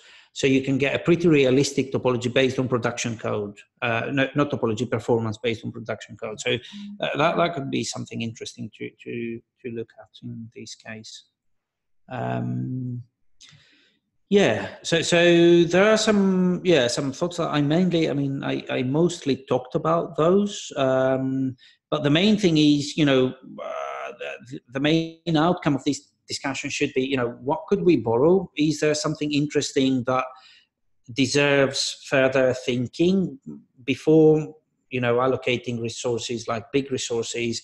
You know i think we should have and could have um, you know either follow up online discussions or physical a physical meeting where you know we kind of pick a few things out of what we discussed today um, and see you know what we could take into account. So, in my view, uh, as I said, some topological embedding of some structure or some nodes is going to improve performance considerably. Whether this is done through the Coral techniques or uh, some other technique, I don't know. But I think as the system moves and you know the, the delivery delay is going to start becoming an issue. Maybe not now, maybe in five years, but you know, if the system is supposed to be a kind of content delivery network, the CDN kind of approach, these guys have done crazy things, and in order to to get even close to that performance, you know, um, some topological thing needs to be in the whole system, not necessarily in the naming. I'm not I'm not saying that, um, in the system.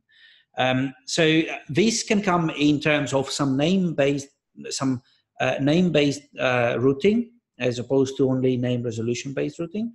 So some node that can keep track of what is being cached locally and redirect to local nodes when something gets popular before getting before hitting the DHT. I think that is also something that can take huge advantage of locality of interest.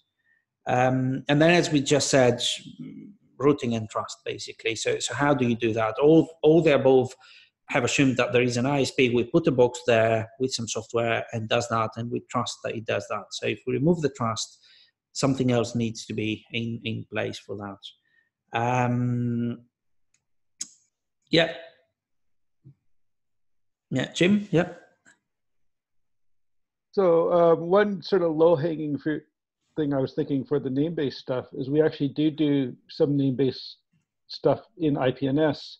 Right. you can you can use a, a, a DNS name and then that gets resolved um, to an IPNS key, which then is used to look up in the DHT. Um, but like we're not, we're just sort of using that in the resolution process for DH, uh, DNS lookup and then throwing it away. But if we didn't throw that away, we actually use that. Um, I, am sure Dean has um, some thoughts on that. Yeah, I, I saw this somewhere, and uh, that's the next thing I want to, to look at more closely into IPNS. And there is a thread of the uh, DNSLink, the, TX, the TXT there, um, which could stay for a bit longer or could have some other metadata information that it can be kept or help in some different way. But yeah, good point.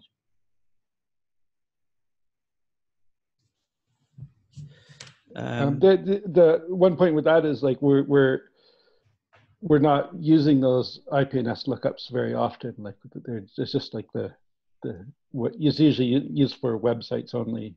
Yeah. Um, so we're not because it's mutable. We want to have immutability. So yeah. Yeah. Cool. Yeah. Yeah. Yeah. Agreed. Yeah. Um, so yeah, so I put some thoughts here on the, the, the, there are mainly three parts to the lifetime of the content. So one is the content publishing, and there is this huge discussion on how do you provide how do you do provide the records, uh, how do you publish basically and register content. Then there is the content storage, which is okay the Filecoin storage market, and then there needs to be, I believe, I I, I don't know, but eventually needs to be timely delivery as well. So so content needs to be provided back with some SLAs and some guarantees um, um, to keep uh, uh, call of service high. So in terms of content publishing, it's there, there is something that uh, discussed briefly with Stephen at some point last week or the week before, which is that in my opinion, caching is different to storage. So it's different to say that someone is storing something and that is going to be there for longer time periods and you know it's going to become unavailable. You know if electricity goes out and it's different to having someone that is caching and is unreliable unstable because they just close the laptop and go. Um, so i think this needs to be reflected in some um, uh, node class kind of thing where there are some caching nodes which are unstable there are some caching nodes which are stable and then there are nodes that actually store content. And in order to get that, um, you know, there, there needs to be techniques that actually uh, both measure the, participation of nodes in the network and therefore kind of assign them or build a reputation of some sort uh, and you know be, are allocated in one of those categories um, and then how do we actually do the provider records that, that you know i have this content cached here is a whole different thing. And there are interesting techniques there to see you know to, to estimate basically on when did some node started caching this and how much time has has it been since then uh, try to probabilistically infer whether some piece of content is still in this cache or it has expired and it's out it has been pushed out of the cache. Therefore you know we can assume without having to provide to send out provide the records all the time we can um, we can probabilistically know whether to uh, contact some node or not. Um, uh, then is content storage, which uh, you know it has to be reliable and available, and it needs basically smart replication. So the content placement needs to be intelligent, so that you know when I receive some content here, um, other we need to have a mechanism to to see whether it makes sense to replicate this content to other nodes that are close by because you know i might disappear from the network but this content might become popular all of a sudden. Therefore, it would be good to have it somewhere close by and be able to identify it as such in order to serve other content, other users, you know, without having to go up to the DHT and have to resolve the content all, all from the start again. Um, and then, of course, you know, content delivery is uh, another tricky point, but I guess that's on the plan. This is a little bit further out towards the future. Um, so um, yeah, so so a kind of a design proposal is that uh, which I'm sure I have seen some of that in GitHub pages. I just thought of putting it in one uh, or two slides. Is that um, not every client should be uh, should be providing uh, routing information. There should be one gateway node or entry node or a few. I don't know which we trust first somehow and then these are sitting before the DHT so that we can um, uh, resolve content that is local. Um, and effectively through a multi then a multi-layer DHT approach is obviously providing um, pointers to services rather than static content, which kind kind of comes down to this terrible figure that I put together. Terrible. um, but if uh, the, the main point is that if you have clients here and you have this local gateway or whatever other thing we want to call it, you know, uh, uh if it keeps if this gateway here is keeping an index of what other clients have, then a request could be resolved locally without even hitting the local DHT which is there. Then, if something is not there, obviously you need to go to the DHT and maybe different levels of DHTs.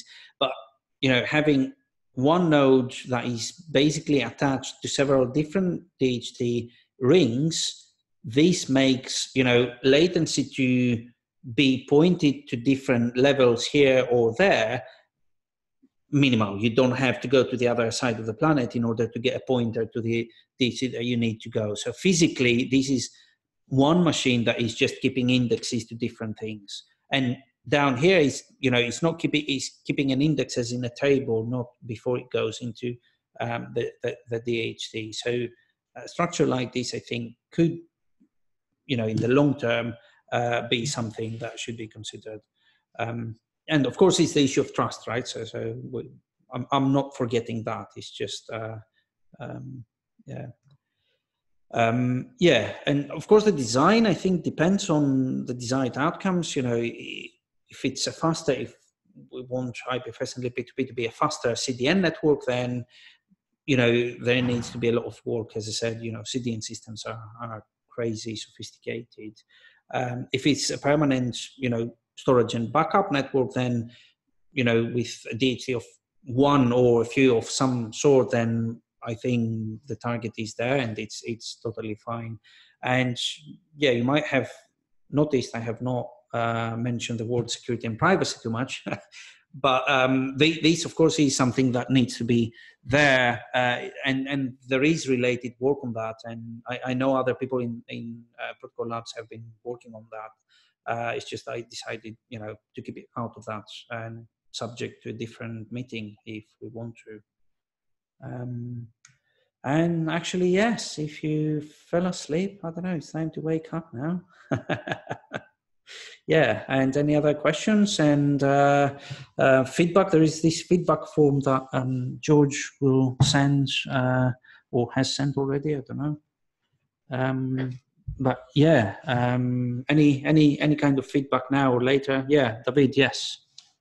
Uh, thank you so much for this great workshop. I really enjoyed like just revisiting a lot of these concepts, like reminding me of, uh, a lot of things, but I was like learning new things. Yeah. Uh, thank you so much for organizing this. I, I, I hope that this becomes a habit rather than just like a one-time event. Absolutely. Um, there is interest. Yes, yes. Awesome, awesome. So uh, I have a bunch of thoughts. Uh, the the one uh, that I will choose to like just bring up is um, and, and, like you were kind of like touching it at the end, like it seems to me that like in both of these communities, either IPFS slash peer and also the name data networking or even like the DHT research, yeah. um, there's kind of like this um, belief or this hope to find a one size fits all DHT even if it's a multi-layer or like a, a clustering DHT, it doesn't matter. Like, like it, it, seems like we are always treating like store storage of data as like a, a database problem, when in reality is like a, a data access slash slash data publishing problem, right? Like, um, I see something missing here, and, and I was hoping maybe like you, you know of some work, or may, maybe like I, I, it's already done, and I just don't know about it. Which is like, how can we tell like when we create the data how can we describe with the data itself like how it is supposed to be accessed so i think like a blog maybe there's like a blog post every week so like users should not be like resolving DHT records every second because they they probably will not get or or um, as a user that wants to access some data i want to access the data but i want my access to that data to be private so i want to pick different kinds of mechanisms that enable me to do that given the resources I have available. Um, is, is, there like any work towards direction or? Um... Right. Uh, so, so this is uh, pretty close to some thoughts I had myself in the past, but um, Um, not not in the very distant past, actually, uh, where all that is, you know, every piece of content comes together with some um, metadata. Mm-hmm. And these are, you know, if it's a blog post which is updated every minute, then this, this, and that. If it's my web page that is updated every year, then this, this, and that. If it's even going further and saying this is some piece of personal information out of my wearable devices that I want to keep totally private and totally encrypted and give access only to my doctor and no one else, not even my family or whoever, um, mm-hmm. um, then this needs to have totally different properties, right? Uh, yeah. So, so I totally agree with you. I uh, I am not uh, straight off from top of my head aware of an architecture that supports that. Um, but there have been recently approaches where um, you know you kind of attach metadata to data, and that's how you can achieve a few things. How scalable this is to address the whole of the internet, I'm not very sure. Uh, but I agree, a, it's a very nice direction for, for, for someone to, to look at. I really wonder if this is a problem that could only be solved by like using AI, like ML and so on. Because like what we are talking is like about so many variables and so many options that you will actually need some help like to actually choose the right path uh, in which like you would publish something or you, you would access something. Yeah. Um, yeah, cool. Um, so is it, Okay, Jim has a hand. Then yeah. I'll raise my hand yeah. after Jim again. Go ahead, Jim. This is sort of a separate question, but um, uh, there's been a lot of this research, and like, and I've been following things like multicast, which have been around since the 80s and never really took off. And I feel like some of these things, it's just like um, the the technologies are more efficient, or the ideas are more efficient, but they're incompatible with existing business models like mm-hmm. ISPs tend to sell oversubscribed. They don't put storage or squid caches in or anything to improve the experience. The experience is improved by CDNs, which have a separate business model where the publisher pays, or companies like Google. So it, the, this, the current environment favors massive, massive companies like Google and Amazon. And so there's not, not much incentive, or there's no, not much profit to be made for at ISP levels to like put put in like more expensive Cisco routers and things like that. Right. I mean, it, it, yes, I agree. It's a very big discussion, and it's mainly a business thing. Um, so um, ISP could do much more. Uh, one problem with with all that is that it's not only about putting storage, but it, it becoming an issue of trust again because the content providers they want to know how many clicks they got for their content right? And they don't necessarily trust the isp that they're going to provide the record to say you had that many clicks at this time of day at this time of year right? And even if you trust your local isp or whatever you do not necessarily trust some isp that is 10000 miles away right? So, so there has been this thing with uh, accountability, basically, where caching has been a big thing, but it has not taken off as much as it could. And then there was a big CDN company that came and everyone trusted, and that's why they give the content to um, uh, to them. Now with with structures like you know permanent names and name data, this is much easier to do, right? Because you can you can have some proof that something has been requested and has been forwarded and if someone is asking for that name is asking for that name and this cannot change you know and you don't need any dpi or anything that you can do you know under the hood basically. But i, I totally agree so it's a business model issue and yeah. Yeah uh, david i think is uh, yeah yeah, um, I have one more question around like just the the scale of these test beds and their uh, like their availability. Um, how easy it is to like understand and and test like all of these projects um, from your experience. Like, what is the the friction that exists for for example if we were to like try some of these projects just for ourselves or like try to check in on to their test bed so that we could see the stats and compare it like if we were to develop peer-to-peer benchmarks that compare to some of these uh, projects uh, in terms of like resolution and so on yeah. um, how available are those uh, if available at all so so there are many so out of those that i have talked about uh, it's mainly the ndn project that is uh, kind of alive and there is a testbed and everything. Uh, so that can be used it can be compared it can be measured. They, they are very open to any new user or any new collaboration or any new testing. Um, so i know so so on that side yes everything good. Um, so the NetInf project, for example, it's not operational anymore. I know there was a prototype. I know there was a test bed of some sort, and there is open source code available certainly. But I don't think it's maintained anymore. But the, the fact that we can get the code and deploy it somewhere and test, that can be done. Uh, i have a note on this, so I'm going to to check um, with them and see where is the code actually. Uh, yeah, and as I said, the DONA thing was uh, the DONA architecture was a paper, so there might be some code with the papers in some GitHub or repository, but it was never really, you know, it has never grown as big project. Yeah, yeah, Raul, yeah.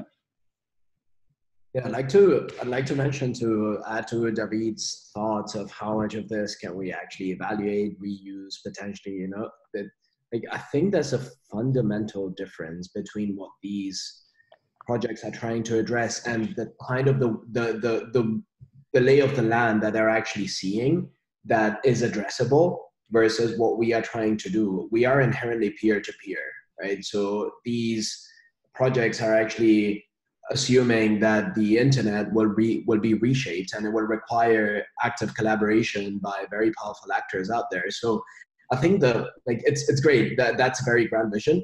I think uh, like I would, in order to stay practical, I would say let's try to understand the pieces of these projects, particular, you know, like problem solutions, tightly scoped solutions for particular problem domains that they've actually, you know, deployed or proposed or modeled or simulated or whatever, and trying to use those as inspiration versus actually trying to, you know, replicate or even consider for like even consider at that deeper level because what we're trying to do is fundamentally different, right? Yep. Yeah. But in, in order to stay like super practical, it's like let's dice and, and slice these projects apart, understand the, the the guts of them, understand which parts we could get inspiration from, and potentially use that as input to our research processes. Yeah. Yeah, I agree. Yeah, I don't know. This uh, is all based on like a two-hour presentation, so I mean, by no means uh, am I trying to like you know set direction or anything. It's just the way that I'm personally thinking about this. Yeah, yeah. I think um, there was Adin and David. I think you raised your hand. Or... Let, let me just quickly step in before. Uh, guys, please continue the discussion. But in case you haven't seen the, the link to the feedback form in the chat, it is there, and we would appreciate it if you could answer it uh, right away at the end of the call. But for yeah. now, I think Adin was next. Yes. Okay. Yeah. So um, I was just thinking a little bit about you were saying about multi-level DHT stuff and what David was saying about some like you know uh, machine learning type of approach to maybe help map these things out. And I guess makes me think of like sort of the you know mathematicians only know like three numbers. There's zero, one, and more than one um, and and and so like when you have if it's like a fixed number of like the, if the multi levels are like fixed as opposed to like a sort of this i don't know continuous like this spectrum of like growing um those are like two very different ways of looking at it in the sense the continuous like the continuously growing dht is basically just one system whereas a multi-level is like you've intentionally designed it as multiple levels um, sort of do, does the multiple levels thing as being like discrete like what, what do you think are the advantages there um so the advantages there, I think, is that you basically, when you when you enter this ring, in order, the next point that you're pointed to might be too far away. Apart, apart from net, NATs and things like that, even these can be very far away. So the the time to go there and then go to the next and then go to the next until you hit the point where you have the local node you know you, you get the node that knows where your content the, content that you're looking at is can be both long in terms of the resolution like to go around the ring and then the node that you're going to end up to might also be too far away and that's when the the the, um, the content delivery starts right? Which has to go through a possibly long you know long haul path from a different continent. So if there is a more um, a, a, smaller notion of a DHT which is registering local content, then you know the locality of interest comes together and it can be exploited you know by looking for content within the same metropolitan area rather than having to go all the way to japan to come back and find that the content is here if you see what i mean. But can't you do that with like like uh far like far jumps right so there's like extensions on on Chord where instead of just reaching all the way across the network uh, in in key space, you also reach to like people that are closer to you, and sort of you break the network up into halves and quarters and eighths. Yeah. So you could do that with latency and be like, well, I'm going to fill up most of my table with people nearby, and I'll fill up some with people far away. Right. Right. Yeah. Yeah. Yeah. Yeah. Uh, I mean, it, it, could be done. I have to. I really have to have a closer look into the Coral uh, design because it's been some years since I last read the, I mean, the details of how this is done. Um, but I, I know from people, yeah, yeah, okay, okay, yeah, that, that's a point, yeah. Yeah, uh, Raul had a uh, question, yeah. No? Okay. Uh, anyone else? I can't see everyone. Uh, I'm unable to raise my hand. Okay. Yep. But I did have a quick question. It seems like caching and like redoing a lot of um, the network to be more uh, named data network like or like information centric network like seems to violate the end to end principle in some ways. The what, which principle? The end to end principle. Right. Yeah. How does that conflict manifest in discussions around these projects and like within the IETF or like within big groups that have a lot of control over the internet it seems like this is like is this acknowledged as like it could be really interesting as like a small like as a possible alternative in the way distant future but we're not going to think about it do people tend to just dismiss this effort or do people generally agree that like this would be a good thing but it has too many problems. Yeah, yeah. So, so there is uh, there is discussion lately to say that you know there is enough consolidation of internet services, and that's not good, uh, and things have to change. Uh, there has there hasn't been any great movement. I mean, there are some people uh, some people that were talking about that ten years ago in the IETF or in some conferences, but there hasn't been anything um, fundamentally actually done. Um, so uh, yeah, the discussion I think is starting now, and um, we need to see how these new protocol stacks, how you know, um, content addressable systems can help with that or not help with that in some cases. Yeah. And would you say that the reason why the conversation is starting now is that they're like is it does it seem like it's tied to business type app like who pays for these sorts of things is it that businesses are more interested or there's like a clear financial incentive or is there some other reason I don't know. I don't know. Just people waking up to the privacy issue, and it, has been around time. it's been about time. Yeah, but yeah, I, I would. I mean, I, I, have tried to talk about these things for years and years with people, but it was all, always coming, you know, a secondary thing, and people looking to improve performance and this and that, and you know, you end up with solutions like VPN, and you're saying, okay, I don't care if there's more delay. I want some privacy. So, which throws away all the performance things that someone tried to do away because I don't care. You know, like uh, it's not only me. um, Stephen, I'd actually say this helps improve the end-to-end principle because, like, uh, currently, in order to have the end-to-end principle in like uh, HTTP, we've had to layer on HTTPS that just absolutely prevents any and all caching. Yeah, but this is effectively like the endpoint is actually like the next router, and then their endpoint is the next router. So point to point, it's still like you probably have encrypted or secure connections, uh, but like you don't really care about which endpoint you're picking. I guess it's the best way of putting it. Uh, in terms of privacy, you can you can get privacy the system with encryption, but yeah, there, there's still like there's how you can get some privacy there. Uh, but yeah, you still have problems with like content routing and the fact that intermediaries will get to know what you're looking for, which kind of sucks. Yeah, yeah, agreed. Yeah, yeah, and you need those things. I mean, especially because some not sometimes, uh, you know, in all those cases, names have to be unique and permanent.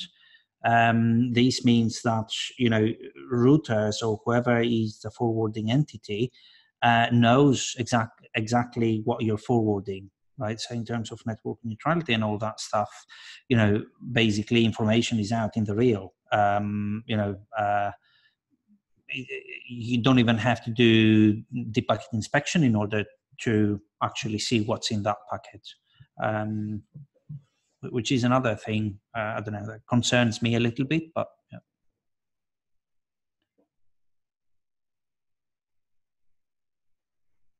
all right any more thoughts and questions and uh, um, Okay, there's lots of chat there. Uh, okay. Yeah.